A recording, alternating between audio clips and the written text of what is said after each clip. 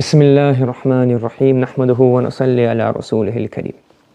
So Alhamdulillah, in the previous lessons and the previous videos we have been covering the Dhamir Mansub. But I want to now expand slightly and explain a bit more detail. So we have Dhamair, plural of Dhamir. And we said there are three types of Dhamir because Dhamir don't, they're, more, they're mabini, they don't change themselves. But for each state, for the marfu state, for the mansub state, and the majrur state, for each separate state, we need to have a different set of pronouns. So you have zamir marfu, zamir mansub, and zamir majrur. Then we done zamir marfu, we said you have zamir of mubtada, you have the zamir of the fa'il, and the zamir of the fa'il can either be mustatir, hidden inside, huwa and here, or it can be bariz, where you can actually see it at the end of the verb, like daraba, darabu, yadribani, yadribuna, etc. And then we also said we have the ism of kana. This is also a marfu. Now we were discussing the zamir mansub, and we said zamir mansub can be the zamir maf'ul bihi, or it can also be the zamir of inna. Yes, the, the ism of inna. So the zamir of mubtada was this, huwa, huma, hum, hiya, huma, hunna. Until the end, you've learned this well. Then we said zamir fa'il. These are mustatir in here. In these forms, the zamir is mustatir. Yes, you can't see any form at the end of the verb. And apart from these, all of the rest are uh, baris. You have an alif, waw at the end. Okay, you following? Yes. Okay. Then we said kana. Same thing. You have zamir mustatir in kana, and you have zamir baris in kana. Yes. Okay. Okay. Then we said you have the ism. We have the zamir this is what it looks like, the zamir, the mansub zamir. But it doesn't come on its own. It either has to come joint to if'al or joint to the particle inna. Yes, we've done all of this so far. Now, what we want to have a look at is if we look at the fa'il zamir again. We said, for example, we had the word sami'na. Sami'na means what? We heard. Okay? Now, in here, the na is the what? Fa'il. What is the na? It is the fa'il. Okay? The na is the fa'il. Now the na is attached to the verb. So anything attached, attaching is called ittasala yattasilu ittisalan, to attach. So here, the zamir marfu is attached to the verb. And in ana zaidun, this is the mubtada, this is on its own. The word ana is not joined. So the mubtada pronoun doesn't join to anything, it is detached. So when you have these marfu pronouns, there were two types. The one that becomes a fa'il was attached. It was what? Muttasilun, attached. And then the mubtada pronoun was detached. It, it came independently. It wasn't joined to anything. That's called what? Munfasilun. What's it called? Munfasilun. Understood? Now, the thing in these marfu pronouns is that the zamir muttasil is only for fa'il and the zamir munfasil is only for the mubtada. Now, when we come to the mansub pronouns, the same pronoun is used for maf'ul bihi and the same pronoun is also used for the ism of inna. Yes? Now, these, the examples we've studied so far, sami'tuhu, I heard him, or uh, innahu, indeed he is something.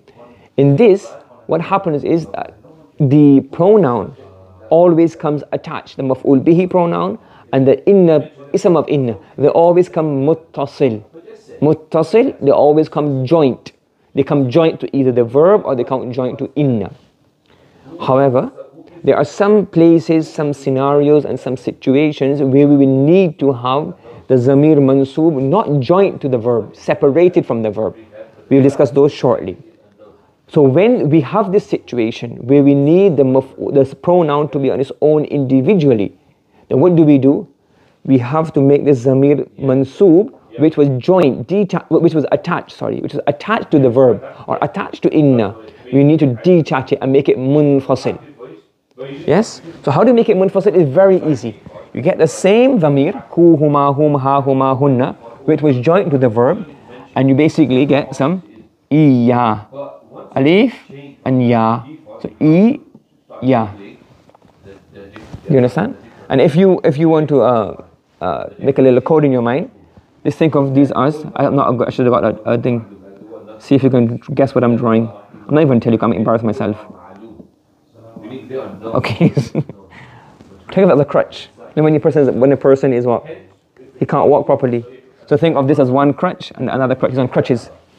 Because why? The zamir is so weak, the hu zamir is so weak, it can't walk on its own. So it has an alif, one crutch on this side and one crutch on this side, and then it has it uses the crutches to survive, to walk. So the, the zamir, the hu zamir is so relu- so dependent on, it's so weak, it has to come with the verb. It has to come with inna. And if you want to bring it on its own, it can't walk on its own. It has to bring what? The crutches of iya. So alif is one one thing, and that's another crutch, two of them. And then this supports the hu. There's no meaning, nothing. It just supports the hu, humaha, hum, and it allows it to stand on its own. If you don't have iya, the the, the mansur pronoun is so weak. And you know why it's so weak? Should I tell you why it's so weak? Because the grammarians always use the example, daraba zaydun amran. What's amran becoming in this example? The maf'ul bihi. So, so Zayd hit Amr so much that the maf'ul bihi is so weak, when it becomes a pronoun, it can't stand on its own. Yes, I can make my story up. So daraba Zayd hit Amr so much that the maf'ul bihi became so weak. So when you have a pronoun zamir maf'ul bihi, it can't come on its own. It has to come with the verb attached, or it has to take help from inna. And if you want it to stand on its own, you have to bring crutches and use iya to make the zamir stand on its own. When you have these crutches, then you can have iyahu, iyahuma, iyahum. Now the whom can use iya to lean and support against. Do you understand? Yes? Everybody following me? Yes? Any questions? Muhammad, Ahmad, Hamad, Ibrahim? If you have a question, you have to uh, you have to say. I can't read at the moment. Okay. So we'll yes. Okay. Now, yes. So we understood the zamir mansub, the mansub pronoun. They always come joint. Hu, huma, hum. If you want to detach it, you put the the crutches on and you say iyahu, iyahuma, iyahu. Now the question arises: Where would you want? Where would you want the zamir mansub on its own? Let's take one example. Innahum mu'minun. What does innahum mu'minun mean? Indeed they are what? Indeed they are believers. Innahum mu'minun. Indeed they are believers. Innahum mu'minun.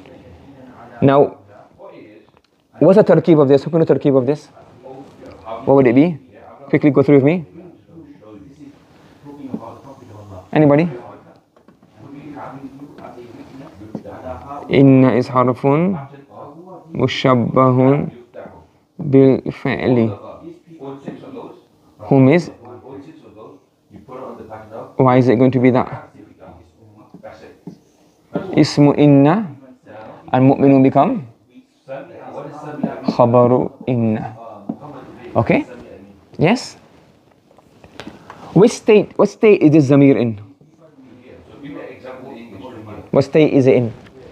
Marfu, mansub, or? It's mansub state. Now, if I want to make a harful at and I say, okay, indeed they are believers, but I want to say, indeed they and we, or they and you. I put harfun jar wow here.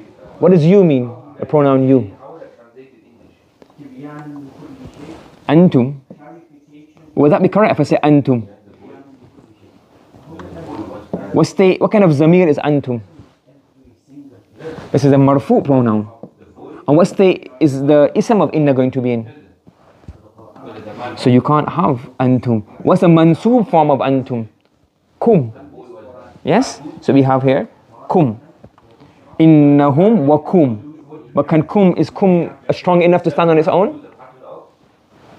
So you have to say iyyakum. You have to use zamir mansub, the munfasil form, the separated form, because it's not attached to a noun, to a fa'il, nor inna. So you would say innahum wa iyyakum. Now this now iyyakum is now used as a ma'tuf on a mansub word.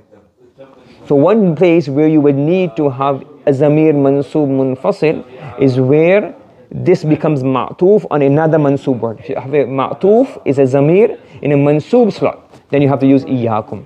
So example, a tarkib of this would be what? Harfu mushabbahun bil fa'il, and I got here hunna, hum hunna the matter. Yes? This becomes the ma'tuf alay. The ismu inna harfu atf, iyyakum becomes the ma'tuf. And this has to be iyyakum, it can't be antum, etc. because this is a mansub slot. So the mansub form of the pronoun has to be used, which is iyyakum.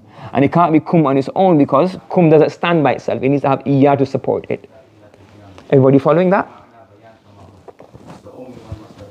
Yes? Okay. Another example. I saw you and him. Or I saw you and her. What would it be? Ra'aytuka. Then you put the harf harful at wow. And him. What would him be in Arabic? If it was a mubtana, it would be huwa. But it's a mansub slot. So it has to be who. But you can't have who on its own. You have to have. So ra'aytuka wa iyahu. I saw you and him. Understood? Everybody following? So ra'aytu is fa'il, fa'il, maf'ulun bihi, and the ka is a ma'tuf alay, and wa iyahu harfu and ma'tuf. And you have to use the mansub form because it's a mansub slot, and you have to use the munfasil, the separated form, because ma'tuf is separated, it exists on its own. There's no inna to, to support it, nor is there fa'il to support it. Understood? Yes. Another place or another scenario where we would need to use the zamir mansub is when you have when you want to bring a fronted maf'ul bihi. Remember we done before very early on that when you front something, what does it do? It creates emphasis. So when we say iyyaka na'bud, we don't have to say iyyaka na'bud. We could have said na'buduka. When Allah subhanahu wa ta'ala said na'buduka, we worship you. But that doesn't create emphasis because the people of Mecca and the mushrikun at the time of the Prophet sallallahu alaihi wasallam, they used to worship Allah and along with Allah they used to worship other things. So they had no problem saying na'buduka, we worship you, Allah. The issue was we only worship you. They used to worship Allah as a main God. And then the idols and the angels, etc., different beliefs, that these were the sub-gods and smaller gods which help us get closer to the big God. So na'buduka is not a problem. When you say iyyaka na'bud, so the reason we brought iyaka here is not because we have no choice, but we changed it from na'buduka and we brought it over here. And then this creates emphasis. We fronted the maf'ul bihi. Now if you front it, if it was na'buduka, we can't say ka na'budu. Why can we not say ka na'budu? Because the zamir mansub cannot stand on its own. It must have an iya to support it. Do you understand? You got it? So it is, that's, why, that's why we translate it. We say, it is you who we worship, or you alone do we worship. And all of these translations come about because of the fronting of the maf'ul bihi, which is now in a pronoun form. Does this make sense? So for example, you say here, مفعول به مقدم and فاعل وفاعل نحن الضمير مستتر inside of this. Yes, you following? Yes, let's do a few examples quickly. We've done this before, we can go through it quickly again. Ji, who wants to do this one? Ji, Bismillah quickly. Ji, what does ma become?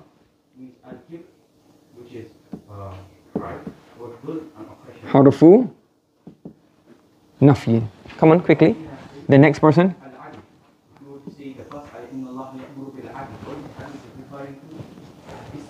Sadaqa is a fa'il. Fa'il. How do you know the fa'il is huwa, not something else?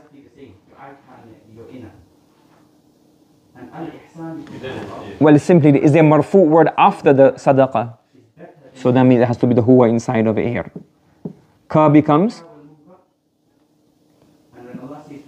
this becomes maf'ul bihi because you have wala as harfu atf. Okay, so ka becomes what? Ma'tufun alay. Wala becomes harfu atfin and iyaya becomes ma'tuf. Translation would be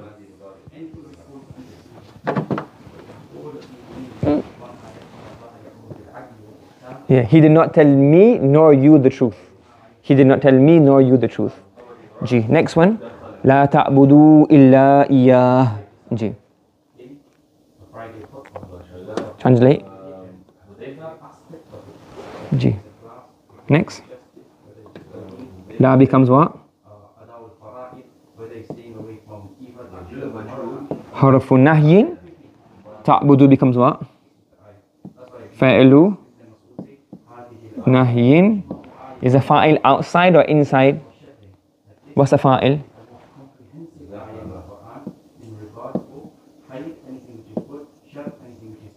The fa'il is wow. Illa, is it adatu hasrin or is it adatu istithna'in? Why is it adatu hasr? Yes, yeah, you have illa plus la. And iyahu becomes?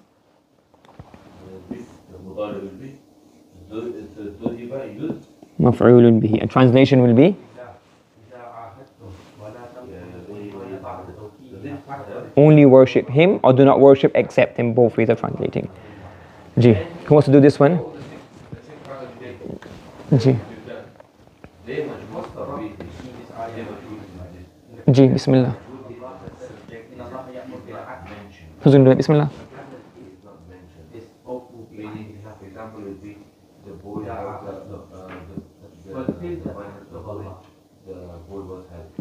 So becomes the harfun mushabbahun bil fa'li. You go here, Ibrahim. Ibrahim.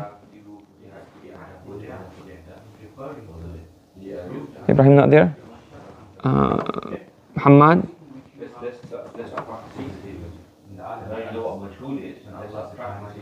Is Hamad there? Did you carry on? Um, this becomes ismu inna. Correct? G. Then Madi and Mudari, the whole thing, yeah? I can't hear you. You're cutting up. Lam is. You're breaking up. Lam is lamun. Muzahlaqatun. Then This is what Khabaru in. Yes? Yeah, this is then this is what? The alif is ma'tufun alay aw is harfu atfin and iyakum becomes ma'tuf. Yes? Then lam is muzahlaqa, then ala becomes what? Jar who then, fi dalalim mubin becomes? Are you sure?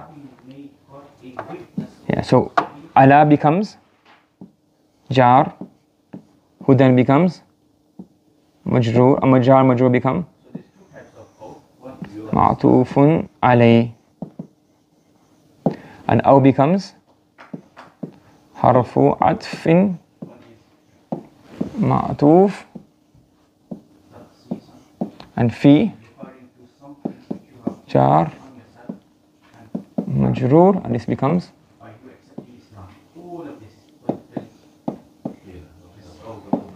Man'ud and nat. What's the translation going to be? Yeah. Indeed, or we can say here surely, probably better, surely. Either we or you. Either we or you are are, are on guidance or in clear or in clear misguidance. Understood? Yeah. Okay, so summary again we have dhama'ir, marfu, mansu, majroor. Then we have mubtada, zamir fa'il, zamir uh, mustatir or it can be baris, ism of kana, zamir manful or ismu inna. And these can either be that what? So the zamir, so if you look at it here, these zamir fa'il or ismu kana are always going to be what? Muttasil or munfasil? What are they going to be?